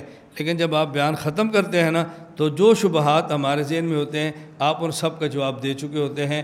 ہمیں پرچی کی ضرورت نہیں رہتی۔ میں نے آپ سے کہا تھا نا بھی اپنی پرچیاں روکو، گیارہ دن۔ جب گیارہویں کھا لو، پھر پرچی دینا۔ گیارہ گزرنے دو دن۔ توجہ رکھے ذرا۔ سوال سمجھ آ گیا؟ انسان ایمان لاتا ہے بے فعل ہی اپنی مرضی سے، اقرار ہی اپنے اقرار سے، و تصدیق ہی اپنی تصدیق سے۔ کیوں؟ بے توفیق اللہ تعالیٰ۔ اس لیے کہ اس کو اللہ نے توفیق دی ہے۔ جب اس کو اللہ نے توفیق دی ہے تو اختیار کیسا ہوا؟ انسان انکار کرتا ہے کیوں؟ بے فعل ہی اپنی مرضی سے۔ وہ انکار ہی خود منکر ہے۔ وہ جہود ہی خود جاہد ہے، خود انکار کر رہا ہے۔ کیوں؟ بے خضلان اللہ تعالیٰ یاہو اس لیے کہ اللہ نے اس کو رسوا کرنا تھا۔ تب اس نے کفر اختیار کیا۔ ہے تو بندے کا اختیار کیسے ہوا؟ بات سمجھنا۔ اللہ تعالیٰ کی مشیت ایک چیز کی نہیں، دو کی ہے۔ میں اختیار دوں گا، یہ اپنی مرضی سے ایمان لائے گا۔ ایمان لانا چاہے، میں رکاوٹیں ختم کر دوں گا۔ ٹھیک ہے؟ یہ میری توفیق ہے۔ اللہ چاہے تو رکاوٹیں پیدا کر دے۔ یہ چونکہ ایمان اپنی مرضی سے لانا چاہتا ہے نا، تو اللہ نے راستے کی رکاوٹیں ختم کر دیں۔ بے توفیق اللہ، میں اگر اس کی رکاوٹیں ختم نہ کرتا، یہ ایمان کیسے لاتا؟ لایا مرضی سے ہے، لیکن اس لیے لا سکا ہے کہ میں نے رکاوٹیں ختم کر دی ہیں، میں ختم نہ کرتا، پھر میں دیکھتا نہ ایمان کیسے لاتا ہے۔ بات سمجھ آ گئی ہے؟ توجہ رکھنا، میں اس کی قرآن کریم سے ایک مثال دیتا ہوں۔ موسیٰ علیہ السلام کی والدہ نے اپنی بیٹی سے کہا، اس کو صندوق میں ڈالو، سمندر میں پھیل دو۔ پھل تقت ہو آل فر اونا لیکون لہم ادوا آگے۔ جی۔ لیکون لہو ادوا و حسن یہ جو فرونیوں نے موسیٰ علیہ السلام کو اٹھایا تھا، تاکہ دشمن پیدا ہو، اس لیے اٹھایا تھا۔ توجہ رکھنا۔ اللہ وجہ بتا رہے ہیں۔ یہ وجہ کا معنی یہ نہیں ہے کہ انہوں نے اٹھایا اس لیے تھا تاکہ ہمارے گھر ہمارا دشمن پیدا ہو۔ اللہ فرماتے ہیں انہوں نے اٹھایا تھا۔ ان نے اس لیے نہیں اٹھایا تھا کہ ہمارے گھر دشمن پیدا ہو، لیکن ہم کہتے ہیں ان نے اٹھایا تھا تاکہ ہم انہی کے گھر میں دشمن پیدا کریں۔ لیکن اٹھا وہ رہے تھے نا۔ تو نسبت اللہ ان کی طرف فرما رہے ہیں کہ وہ اٹھا بھی رہے ہیں اور ان کو پتہ بھی نہیں کہ ہمارے گھر میں دشمن ہے، جس کو ہم اٹھا رہے ہیں۔ اٹھایا انہوں نے تھا۔ اللہ فرماتے ہیں ایک ایسا بندہ اٹھایا جس نے آگے جا کر ان کا دشمن بننا تھا۔ یہ نہیں کہ انہوں نے اس بندے کو اٹھایا جس کو انہوں نے دشمن بنا کے پالنا تھا۔ دونوں باتیں فرق ہے یا نہیں؟ فرونیوں نے موسیٰ علیہ السلام کو اٹھایا۔ بات ختم۔ کیوں اٹھایا؟ انہوں نے اس لیے نہیں اٹھایا تھا کہ ہم اپنے دشمن کو پالیں۔ اللہ فرماتا ہے انہوں نے اٹھایا تھا، جس کو اٹھایا ہے، اسی نے بعد میں ان کا دشمن بننا ہے۔ لیا کونا یا لیوکینا اکانا یقین اکان کا معنی الگ ہے نا، اور کانا یقون کا معنی الگ ہے۔ یہ نہیں فرمایا لیوکینا انہوں نے موسا کو اس لیے اٹھایا تاکہ اپنا دشمن اپنے گھر میں پیدا کریں۔ فرمایا نہیں انہوں نے ایسے بندے کو اٹھایا جس نے ان کے لیے دشمن بن جانا تھا۔ تو انہوں نے اس لیے نہیں اٹھایا کہ یہ ہمارا دشمن ہے۔ اللہ فرماتا ہے جس کو اٹھا رہے ہیں نا، اسی نے ان کا دشمن بننا ہے۔ بے توفیق اللہ تعالی، یہ بندہ ایمان اپنے اختیار سے لا رہا ہے، اپنی مرضی سے لا رہا ہے۔ جب اس نے ایمان لانے کا فیصلہ کر لیا، ہم نے اسباب دیے۔ اگر اسباب نہ دیتے تو یہ ایمان نہ لاتا۔ تو یہ اس لیے لا رہا ہے کہ ہم نے توفیق دی ہے۔ ہم نے اسباب دیے ہیں۔ توجہ رکھنا۔ ہم نے توفیق دی، اس وجہ سے ایمان لایا۔ نا، ایمان تو اس نے مرضی سے لانا تھا اور ہم نے ایسی ترتیب بنا دی ہے۔ کوئی ایمان لانا چاہے تو ہم اسباب پیدا کر دیتے ہیں۔ اور اگر ہم اسباب پیدا نہ کریں، کوئی ایمان لا ہی نہیں سکتا۔ ایمان اس لیے بندہ لاتا ہے کہ ہم نے اس کے ایمان کے اسباب پیدا کیے ہوتے ہیں۔ کچھ سمجھ آیا؟ نہیں آیا، پھر کہوں؟ توجہ رکھنا۔ اگر کوئی شخص اپنی مرضی سے ایمان لانا چاہے تو لائے۔ ہم نے اسباب رکھے ہوئے۔ ہم نے اسباب رکھے ہوئے ہم نے توفیق دیں گے۔ ایمان لے آیا۔ کیا مانا؟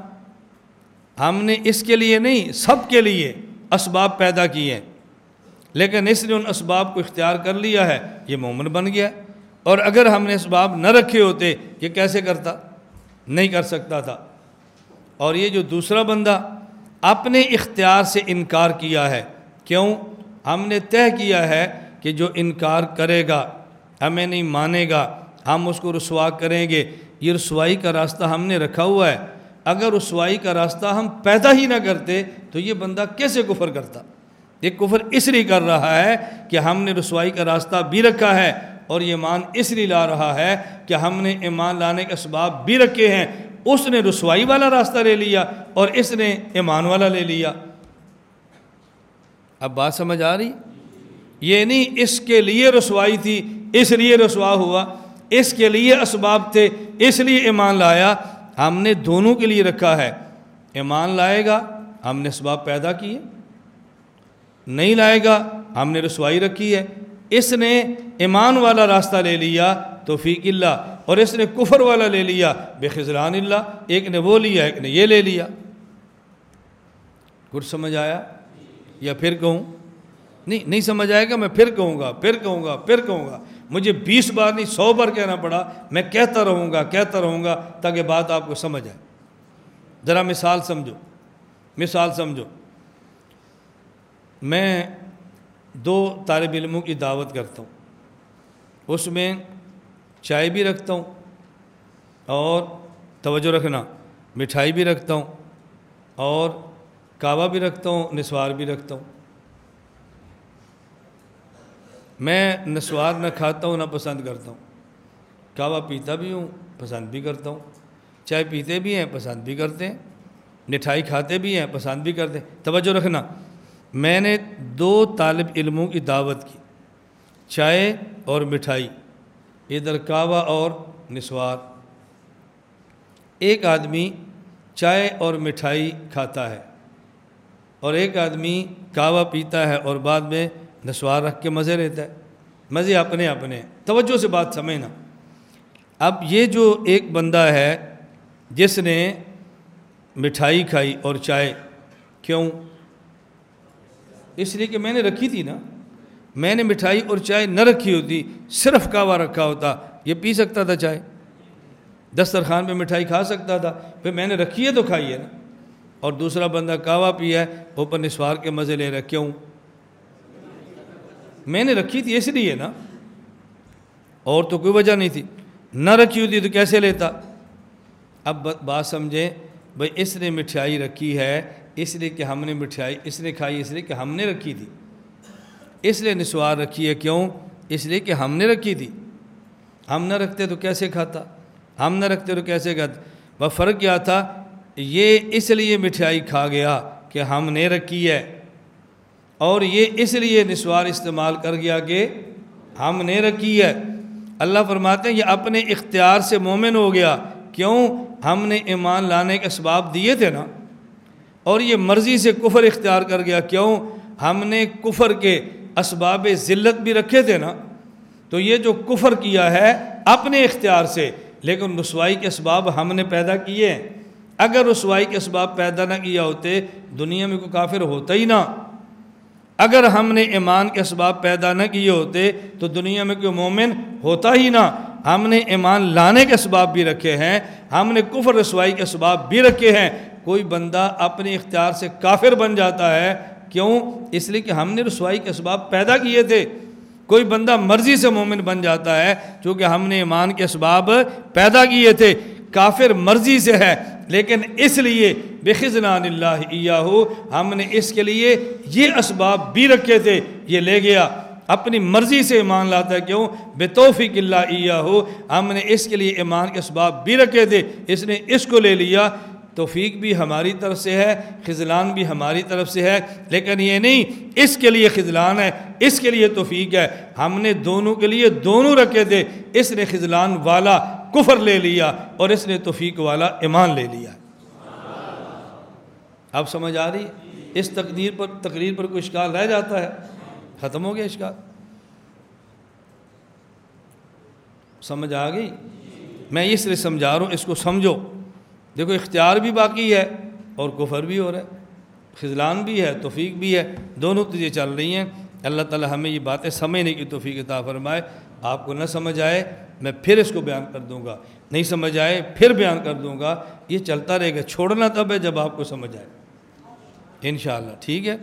آپ نے کہنا ایسی کتنے پھنس گئے؟ کہاں پھنس گیا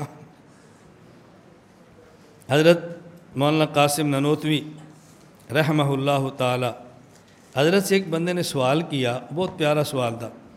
حضرت آپ کہتے ہیں کہ جو کچھ ہوا، جو کچھ ہوگا یہ سارے کا سارا لوہے محفوظ میں تو بتائیں وہ لوح کتنی بڑی ہے؟ وہ دنیا میں کھربوں انسان آئے اور آئیں گے اور ہر کسی کے تفصیلی تمام حالات لوہے محفوظ کے اندر ہے وہ کتنی بڑی لوہ ہوگی؟ کتنی بڑی ہوگی آپ بتائیں؟ آسمان کے تفصیلی حالات، فرشتوں کے تفصیلی حالات جنات کے تفصیلی حالات، جنت کے تفصیلی حالات، جہنم کے تفصیلی حالات، جو کچھ ازل سے ہو رہا ہے، جو کچھ اب تک ہوگا، سارا کچھ لوہ کے اندر ہے، وہ کتنی بڑی ہوگی۔ اللہ نے کہاں رکھا ہے اس کو؟ آسمانوں پہ رکھا ہے، آسمان پر تو نہیں آ سکتی۔ عرش پہ رکھا ہو تو عرش پہ بھی نہیں آ سکتی۔ اتنی بڑی ہے، جس میں عرش کے بھی تفصیلی حالات ہیں، تو بتائیں اتنی بڑی لوہ کتنی بڑی ہے، وہ کہاں رکھی ہے؟ حضرت حکیم الامت تھانوی رحمۃ اللہ علیہ فرماتے، حضرت نوتوی رحمۃ اللہ خوبی یہ تھی، وہ منقول کو معقول بناتے، پھر معقول کو محسوس بناتے۔ منقول کو قرآن اور حدیث، منقول، اس کو معقول، عقلی بناتے۔ کہ جو بندہ قرآن نہیں جانتا نا، لیکن صاحب عقل ہے، وہ بھی سمجھے۔ اور پھر معقول کو محسوس بناتے، مشاہدہ۔ جیسے آنکھوں سے نظر آ رہا ہو۔ جیسے آنکھوں سے نظر آ رہا ہو۔ دیکھو، اتنا بڑا جہاز ہے جس میں پچاس ہزار بندے بیٹھتے ہیں۔ اب ایک بندے کو سمجھ نہیں آ رہا۔ ذرا نیٹ کھولو، دکھاؤ۔ یہ دیکھو گنو کتنے سمجھ آ گیا نا اس کو؟ اس کو نہیں سمجھ، دیکھا تو سمجھ آ گیا۔ حکیم علومت تھانی فرماتے، حضرت منقول کو معقول بناتے، معقول کو محسوس بناتے۔ حضرت نے فرمایا، تمہاری عمر کتنی ہے؟ مثلا کہا جی ساٹھ سال۔ فرمایا، ساٹھ سال میں کچھ تمہارے بچپن کے واقعات ہیں، دو، تین، چار سال کے، شاید تمہیں یاد نہ ہو۔ وہ یہ بندہ فلسفی تھا، ریاضی دان تھا، بہت بڑا۔ فرمایا، تم بتاؤ کہ آخر ریاضی دان تو عام بندہ نہیں ہوتا، بہت دماغ، حافظ عقل والا ہوتا ہے۔ تمہیں اپنے بچپن سے لے کر آج تک کے کچھ حالات یاد ہیں؟ کہا جی بہت زیادہ۔ بہت زیادہ۔ پھر میں مثلا گراؤنڈ میں کھیلتے تھے، گراؤنڈ یاد ہے یاد ہے۔ اسکول پڑھتے تھے، اسکول یاد ہے جی یاد ہے۔ اچھا تم کیا کھاتے تھے؟ یاد ہے جی یاد ہے۔ کہاں کہاں گئے ہو؟ یاد ہے کہا یاد ہے۔ فرمایا دیکھو، تم کتنی دنیا جگہوں پر گئے ہو، کتنے بڑے گراؤنڈوں میں کھولے ہو، کتنے بڑے سکولوں میں گئے ہو۔ یہ جو جو سب کچھ یاد ہے نا، یہ یاداشت کہاں پر ہے؟ اس نے کہا جی میرے دماغ میں۔ اے فرمایا دماغ کے تو کئی حصے ہیں۔ اس دماغ کے کئی حصوں میں سے جو قوت حافظہ ہے نا، دماغ کا ایک حصہ وہ سب سے پیچھے ہے۔ چھوٹی سی ڈبیا ہے، دماغ اتنا سا ہوتا ہے۔ اس دماغ میں چھوٹی سی ڈبیا ہے جو تمہاری قوت حافظہ ہے۔ اس تمہاری قوت حافظہ میں تمہارے ساٹھ سال کے گراؤنڈ، تمہارے ساٹھ سال کے سکول، تمہارے ساٹھ سال کے کالج، تمہارے ساٹھ سال کے سفر، سارا کچھ کس میں ہے؟ چھوٹی سی ڈبیا میں۔ فرمایا، تمہاری قوت حافظہ، تمہاری لوہے محفوظ ہے، اللہ کی قوت حافظہ اس کی شان کے مطابق اس کے لوہے محفوظ ہے۔ تمہاری چھوٹی سی ڈبیا قوت حافظہ ہے، اس میں ساٹھ سال کی اتنی بڑی زندگی آ گئی ہے، اللہ کی قوت حافظہ ان کی شان کے مطابق وہ اللہ کی ایک صفت ہے اور وہ لوہے محفوظ ہے۔ تو تمہاری چھوٹی سی ڈبیا میں اتنی بڑی کائنات آ سکتی ہے، تو اللہ کی لوہ میں پورا جہان کیوں نہیں آ سکتی اس نے کہا جی بات سمجھ آ گئی۔ یہ تھے حضرت نندوتوی۔ بہت پیچیدہ باتیں، چھوڑ دو۔ حضرت کے علوم بہت مغلق ہے چھوڑ دو۔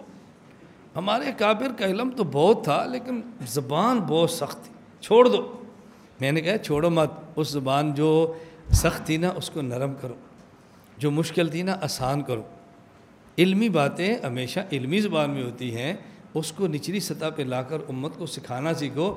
اپنے اکابر سے امت کو توڑو مت۔